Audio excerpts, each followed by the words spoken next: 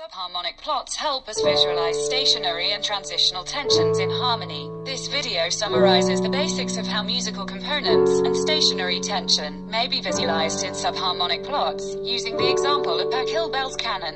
It also serves as a preparatory to another video, which summarizes how transitional tensions may be visualized in a more advanced analysis.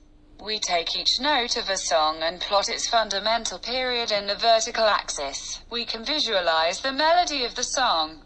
Each note in the audible range has a spot on the vertical axis of the subharmonic plot. We can continue plotting the rest of the subharmonic periods for this note.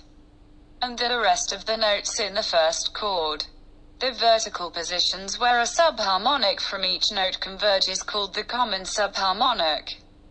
Our ears identify with the shortest common subharmonic periods. We um, find the common subharmonics for each chord and measure imperfection in convergence of its subharmonics. We call this stationary subharmonic tension, or delta T, and use it as an indicator of the degree consonance or dissonance of stationary chords.